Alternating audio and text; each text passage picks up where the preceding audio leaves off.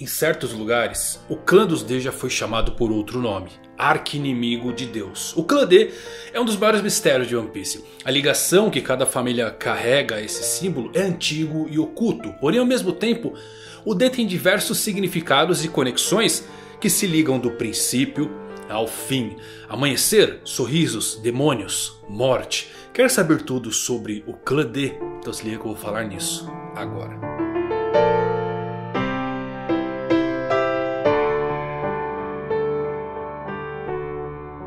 Fala galera, Evandro Fusari com mais um vídeo pra vocês, espero que vocês estão, espero que todos vocês estejam maravilhosamente bem. Hoje trazendo um vídeo muito legal sobre os D, conexão com Lili Nefertari e todos esses clãs. Acabei tendo uma ideia muito interessante sobre o significado disso que eu falei em um outro vídeo anterior do SBS.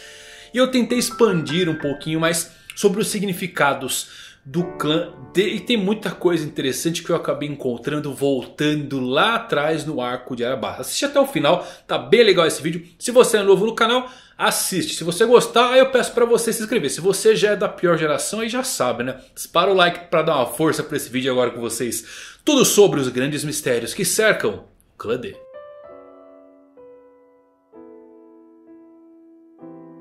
vamos lá meus amigos, recentemente como eu disse eu acabei tendo essa ideia interessante sobre o sobrenome D. Sabemos que figurativamente esse D no nome de personagens chaves no mundo de One Piece significam várias coisas. Virado para baixo temos um D que se parece muito com o sorriso icônico do Luffy, mas não qualquer sorriso, é o sorriso que já vimos em todos os membros desse clã. Voltado para cima, o D é uma reminiscência de um sol nascendo no horizonte, também conhecido como o amanhecer. Ambos os conceitos fortemente ligados ao deus Sol Nika, o guerreiro da libertação. E com isso eu tive a ideia de que o D é mais do que apenas uma palavra. É um conceito universal de liberdade, libertação que pode ser entendido por todas as raças em todos os tempos. D não era uma palavra, mas um símbolo de liberdade que foi apagado no século perdido. Um fato que eu acho muito curioso é que a inicial D ela foi apontada pela primeira vez lá no canto de perguntas e respostas do SBS, onde o autor responde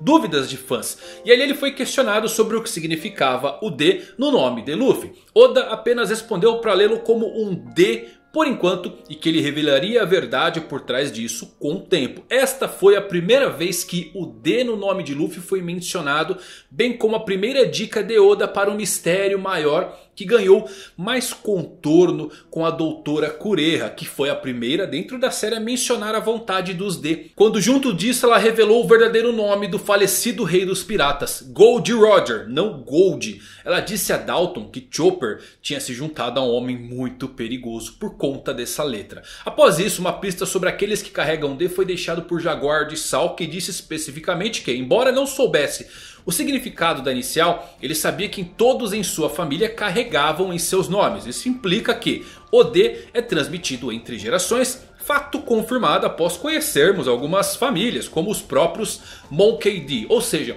parece que todos os personagens com o D podem de fato estar relacionados entre si, se não por sangue, pelo menos por destino. Pois quando Corazon descobre que Lau é um D, ele se refere especificamente usando a palavra clã do D. Até aí nada novo, nós chamamos assim também. Porém, o que eu acho que nunca discutimos a mais é o significado de clã. Clã significa um grupo de pessoas descendendo de um ancestral em comum. E isso é interessante, pois essas famílias podem não apenas ser membros da tripulação de Joy Boy, eles podem ser ligados diretamente a alguma divindade primordial. Após visitar Laugh Tale, Kozuki Oden mencionou que ele e os piratas do Roger haviam descoberto o significado do nome D. Depois disso, Roger observou que o governo mundial estava escondendo seu nome verdadeiro para Gold, tirando D. Mas considerando tudo que ele e sua tripulação aprenderam em Laugh Tale, ele entendia o motivo dessa conspiração. Quando a notícia da derrota de Kaido e Big Mom se espalhou pelo mundo, os cinco anciões mais uma vez ordenaram a remoção do D no nome de Monkey D. Luffy em seu pôster de recompensa, mas falharam aparentemente devido a uma falha de comunicação. Então temos esses diversos significados ligados ao D. Só que o capítulo 1084 veio para adicionar um pouco mais de camadas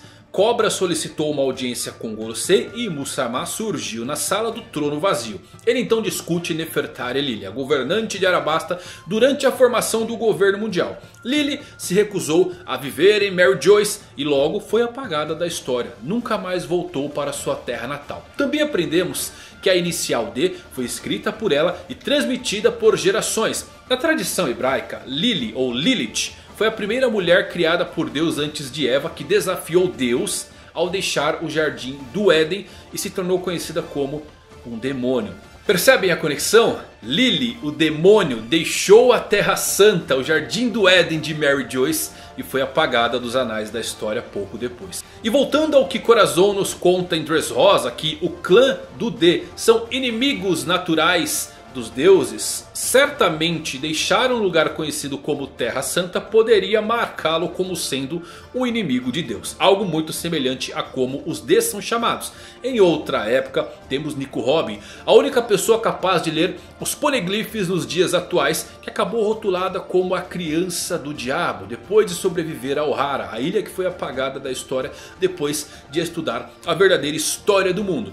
Tudo aponta para o D ligado diretamente a Devil ou demônio. Não à toa temos as frutas do diabo que certamente estão ligadas também a esse clã misterioso e ao reino antigo. Então Nefertari Lily nunca voltou para sua casa em Arabasta. Isto levou alguns fãs a acreditar que Insama é de fato Lily, mas eu não acho que esse seja o caso. Eu acho que Lily era um membro da tripulação de Joy Boy que foi enganado. Ou quem sabe seria um membro assim como Vivi é de Luffy. Por que eu acredito nisso? Porque Luffy está recrutando a antiga aliança de Joy Boy nos tempos atuais mesmo sem saber. Vivi está viva, mas Insama matou Lily ou a sequestrou. E o fato de termos recebido uma ligação de volta para a família de Vivi e Cobra, mesmo perguntando ao Gorosei o que significa a letra D nesse clã misterioso, me faz acreditar que é uma grande conexão aqui. E também me faz pensar em uma outra camada um pouco mais profunda nesse iceberg. Em como o D está ligado ao símbolo X que os piratas do Chapéu de Palha escolheram para marcar sua amizade eterna. Luffy e sua tripulação decidiram que um X seria o símbolo para significar a sua amizade eterna. Nami pergunta por quê. A resposta parece simples, é porque eles são piratas, mas... Por que um X seria um bom símbolo para piratas? O Sop nos conta que o X originalmente significava uma ameaça de morte. Percebem a conexão aqui? Piratas e o X são um e o mesmo por conta de Joy Boy. E eu acho que Joy Boy foi o primeiro pirata, o primeiro rei deles. Ele foi a primeira pessoa a tentar conquistar o mar, se livrar da opressão de reis e rainhas. E ele criou uma tripulação pirata. Binks no Sake nos confirma isso. Acho que o clã D são os descendentes da equipe original de Joy Boy. Das famílias originais que carregaram essa vontade. E isto provavelmente não é uma informação nova para a maioria dos fãs. Mas eu acredito que a tripulação de Joy Boy fez a mesma coisa que o Luffy junto da sua tripulação e Vivi fizeram em Arabasta para solidificar sua camaradagem. E Joy Boy usou um X como sua bandeira. Assim surgiu a Jolly Roger. Insama porém marcou os portadores desse símbolo como representantes da morte. Então Joy Boy para esconder e codificar essa camaradagem com sua tripulação. Decidiram utilizar a letra D em seus nomes que significa amanhecer, sorriso, morte entre tantas outras variáveis, porém com aquela inversão de papéis criada pelo governo mundial. Indo além dessas entrelinhas, vemos até Insama marcar Lulúzia com um X logo seguido pela destruição total da ilha. Portanto podemos supor que Insama pode ter sido o criador dessa ameaça. E todos os piratas hoje são herdeiros da marca do X. Assim como Barba Negra disse, os sonhos nunca morrem. E o que eu tiro disso é que você pode matar a pessoa, mas nunca pode matar o sonho e a vontade. E é por isso que sempre que um membro do clã D morre, eles geralmente estão sorrindo. Porque eles conhecem essa natureza da morte. Isso não é o fim para eles. Exatamente como Roger disse a Rayleigh quando ele deixou sua tripulação. Só morre quem é esquecido. E eu acho que as frutas do diabo são supostamente as vontades passadas de outros sonhos reencarnando nessas frutas. Inclusive, de alguma forma, o clã D ou os companheiros de tripulação de Joy Boy personificam suas vontades atualmente. E essa vontade reencarnou no núcleo dos seus futuros descendentes para sempre. Ou pelo menos até que seu propósito herdado seja cumprido de libertar-se do controle do governo mundial. Um dos maiores defensores de querer saber o significado do D é o Lau. E o que significam as tatuagens em seus dedos? Morte. Seria muito engraçado se a resposta que ele sempre procurava estivesse literalmente bem na frente dele. Luffy tem uma cicatriz em X em seu corpo que ganhou quando Ace abraçou a morte no que ele acreditava. Ele agora está literalmente marcado para a morte e representa o símbolo do clã D em todos os lugares. Isso também recai sobre a tatuagem de Luffy para o time skip 3D 2Y. Ele usa o X para riscar o 3D para que a sua tripulação saiba o que ele quer dizer sem ter que dizer nada. Assim como aposto que Lily fez com a carta dos D. Está bem na nossa frente, o X cruza o D, as duas letras que continuam voltando para sempre. Também nas famosas palavras de Kaido, a morte é o que completa uma pessoa. Luffy teve que morrer para despertar sua fruta do diabo. Isso é literalmente a vontade dos D e de Joy Boy. A morte trouxe Joy Boy de volta. Que melhor maneira para o significado do clã D em fazer um círculo completo no mundo e parar em um X em uma montanha, que é indiscutivelmente a coisa mais famosa associada aos piratas. X, barco local. X é a nossa resposta. X significa morte. A letra D, a letra que está codificada na tripulação de Joy Boy e os seus descendentes. E pense nos inimigos de One Piece, o oposto dos membros do clã ligado à morte, ao amanhecer e ao sorriso. Peguemos dragões celestiais e do Flamingo que queriam Ope Ope no Mi para a cirurgia da imortalidade e para que ele possa viver para sempre.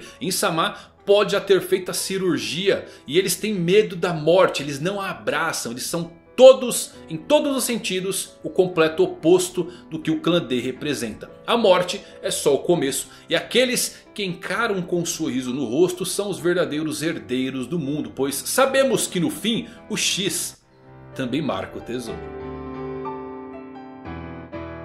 Muito legal isso, né galera? Eu começo realmente a acreditar que o D não seja um significado total, mas um símbolo que foi utilizado para representar a liberdade das pessoas. Talvez inicialmente o X, como o Luffy veio escolher ali com Vivi. E posteriormente o Joy Boy escolheu o D, que representa o sorriso e o amanhecer. Seria muito interessante ter essa transição acontecendo. O que, que você acha? Qual o significado D? É apenas um símbolo universal de libertação para o mundo? Ou tem algum significado? É Devil, Dusk, Down, Jinger? Qual sua opinião? Deixa suas teorias aqui no comentário. Espero que vocês tenham gostado desse vídeo. Se você gostou, deixa um like. Até a próxima. Valeu por assistir. Fui.